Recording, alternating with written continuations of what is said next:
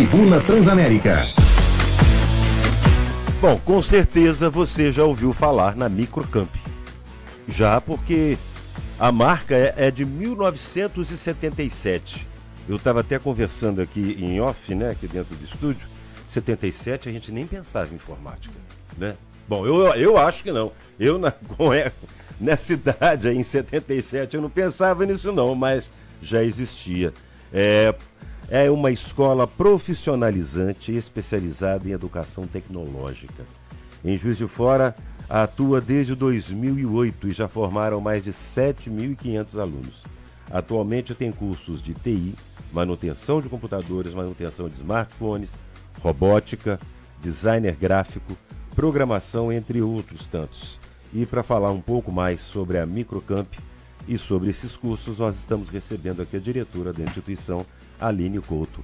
Aline, seja muito bem-vinda, um prazer receber você aqui, tudo prazer bem? Prazer é todo meu de estar aqui, eu agradeço muito a oportunidade de falar um assunto que eu sou entusiasta. Ah, eu imagino, eu imagino que seja para estar nessa esse meio e dizem que é um meio fascinante, só quem entra nele que tem é. É, que fala isso, que é fascinante. É verdade. Você a cada dia descobre uma coisa nova, né? A cada dia, até porque a tecnologia é isso, né? Não é, ela é... hoje é instantânea, né? Instantânea, praticamente instantânea. Me diga, a Microcamp aqui está desde 2008, mas ela, a marca é de 77? 77, surgiu em Campinas, por isso hum. Microcamp.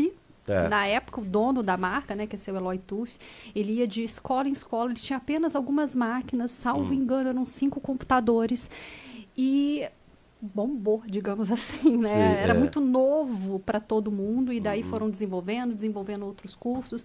Hoje a gente é uma marca internacional, que ainda Sim. além de 69 unidades no Brasil, ainda temos Portugal, Espanha e Argentina. Também. Também. E desses, vocês formaram 7.500 alunos. 7, Esse número é em, em, Brasil? Juiz de Fora. Juiz de Fora. É, mais precisamente aqui a gente ultrapassou 7.700 alunos agora. Caramba, gente. O pessoal está indo mesmo. Eu, aliás, eu acho que hoje quem não tem o um mínimo de noção de informática sobrevive, não? Não, é a hard skill é essencial hoje para o mercado de trabalho. Hum. E é, é, até curioso, embora a gente tenha cursos aí de programação, de robótica, a, o curso que é mais comercializado ainda é o pacote Office. É. Porque as pessoas têm muita impressão, assim, uma, uma falsa impressão de que, ah, eu domino. Eu é, sei. Acha que sabe, é, né? coloca no currículo que sabe. E aí chega né, para a empresa ou vai passar por um processo seletivo, uhum. não consegue desenvolver e aí vai nos procurar. É, é. entendo. E, e, muitas pessoas também que às vezes até já trabalham com isso. Sim. Eu sei porque eu tenho um amigo que trabalhar, trabalhou com, com manutenção de computadores durante um tempão. Aí decidiu que ia fazer um curso provavelmente fez com vocês. Muito provavelmente fez na Microcamp.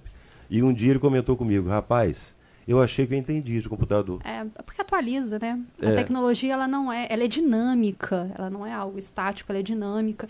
Ela está sempre passando por transformações. Hum. Na Microcamp mesmo, nós atualizamos os nossos cursos a cada dois anos. A cada dois a anos? A cada dois anos. Troca o material, hum. a gente atualiza a didática, a metodologia. Tudo. É essencial.